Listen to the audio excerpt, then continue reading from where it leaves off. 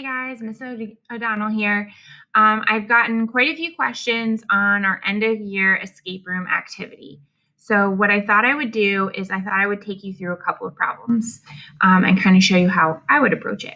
So, if you're struggling on challenge A, so take a look. Challenge A is a little tricky because of the way the triangles are formatted, right? So, we did this one in class. We know A goes to C. Um, if you were trying to do the next problem, so the next problem, oh, the next problem that I would do, the first thing I would do is kind of blow up that triangle.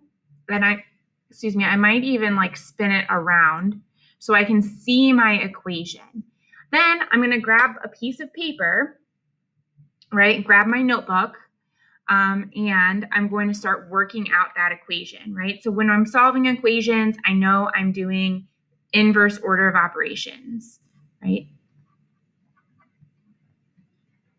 So I'm undoing that order of operations. So I have 2x minus 51 equals negative 10 uh, minus 2x minus 7. So whenever I do an equation, I always start by writing down the original equation. A big mistake that I see a lot of students make and learn from is when they are writing the equation, if they start doing it first automatically in their head, there's oftentimes they get a sign wrong and then they don't have work to go back and check. So always start by rewriting the equation. That just helps develop awareness, right? Then I start working through the problem. I'm going to simplify before I start doing any solving. So 2x minus 51 equals negative 10. I'm going to distribute that negative, so I have minus 2x plus 7, right? I'm going to simplify that right-hand side of my equation um, by combining like terms. So I've got negative 10 plus 7. So I've got negative 2x plus negative 3. And now this is the point where I don't have anything else to simplify, so I can start solving. Okay, so I'm going to get my x's to the left-hand side of my equal sign. I'm going to get everything else to the right.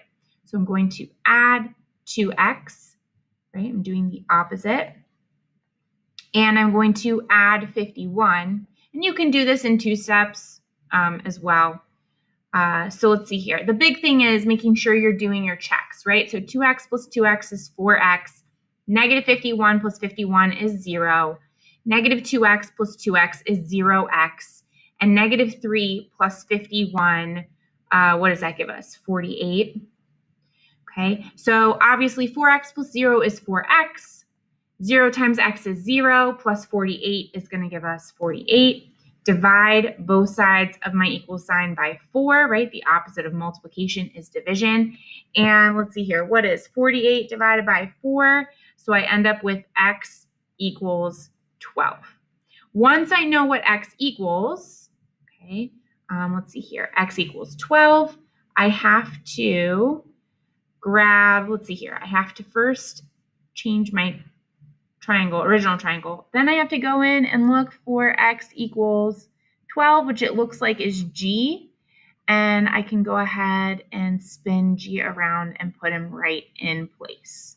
Okay. If I wanted to check my work, and it doesn't have to be perfect, but if I wanted to check my work, I can take that 12, I can go back to my original problem and I can plug it right in, right? So I should be able to do 2 times 12 minus 51 equals negative 10 minus 2 times 12 minus 7, right? And follow order of operations, and I should get the same number on both sides of my equal sign, right? 2 times 12 is 24 and I've got negative 10 minus 2 times 12 is 24, right? So I've got 24 minus 51 equals negative 10 minus, let's see here, 24 minus 7 is uh, 17. And let's see here, then I have 24 minus 51, which gives me a negative 27. And negative 10 minus 17 is a negative 27. So huzzah, I know I did the problem the right way because I got a true statement. Negative 27 is equal to negative 27. So that's your check. All right, stay tuned for the next video.